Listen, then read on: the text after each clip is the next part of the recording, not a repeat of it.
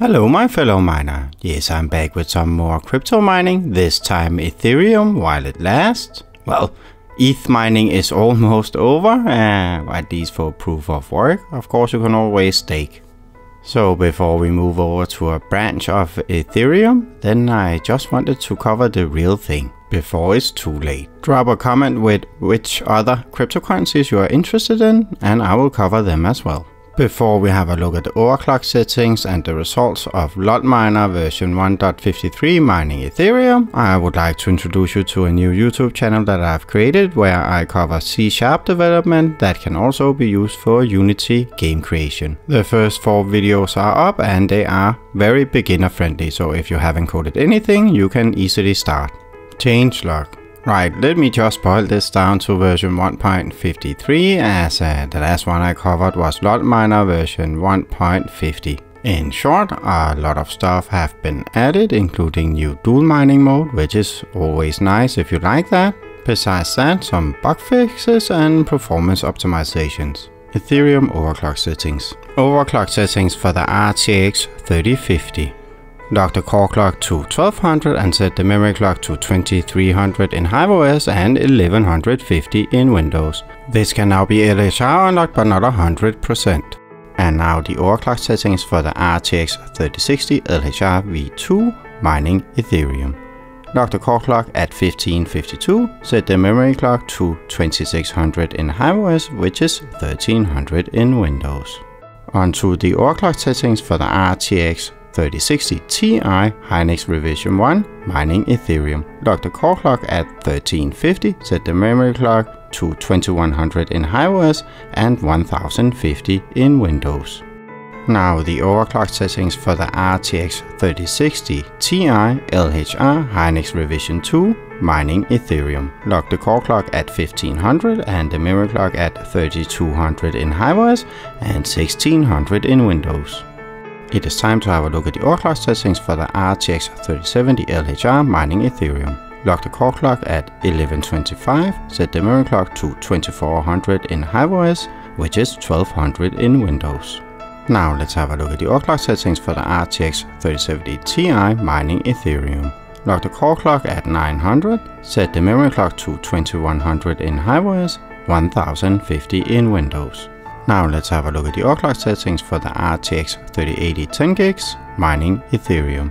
Set the core clock to 1100 and the memory clock to 2800 in HiveOS, which is 1400 in Windows. And the final card until I get my RTX 3080 Ti back from repairs.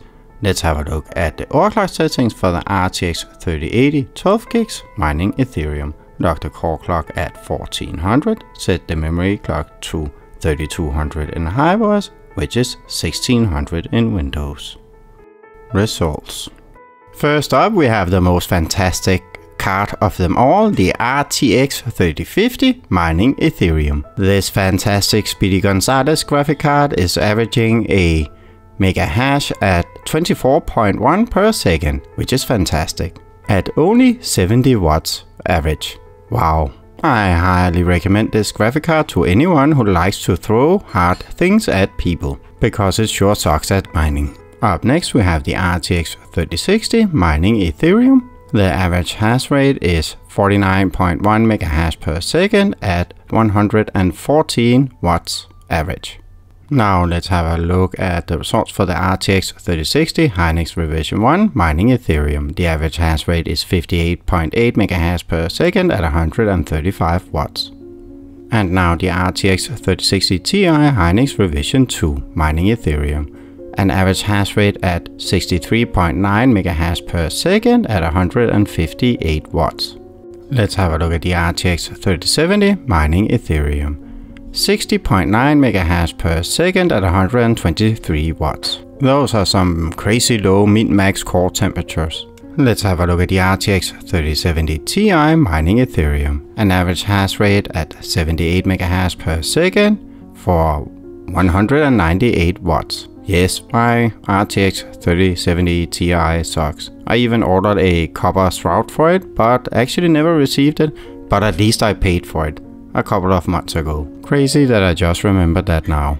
And now the RTX 3080 10 gigs mining Ethereum. 101.4 MHz per second at 241 watts. Core and memory temperatures are quite low, especially considering that it's summer here. Finally, the RTX 3080 12 gigs mining Ethereum, an average hash rate of 111.2 MHz per second at 287 watts. And here we actually see min-max core and mem temps jump a bit and that is of course due to these still needing Ethereum unlock. I believe the LHR unlock is at 91.6 or something like that for the RTX 3080 12 gigs. I honestly don't understand why Nvidia haven't removed LHR completely as they are not really selling their graphic cards at all currently, they are quite cheap and no one wants to buy them. Let's have a quick look at the mining screen. LolMiner version 1.53 ran for 1 hour and 20 minutes. All the results are based on 1 hour and 10 minutes as I skipped the first 10 minutes. The actual mining screen is looking fantastic as ever. Please don't change it because I don't want to change my average calculator uh, application again. Yes, I've made an application that scrapes all the results and do all the calculations for me because I am a lazy donkey. Conclusion a lot have happened since I last mined Ethereum and to be honest, I actually turned off my mining rig again, right after completing the test.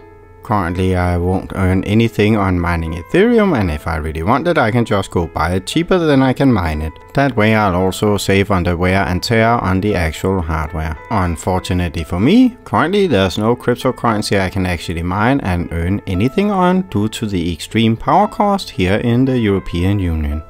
However, if you live in a lovely area around the world where electricity is cheap, then LolMiner is definitely one of the top tier miners, especially for Ethereum.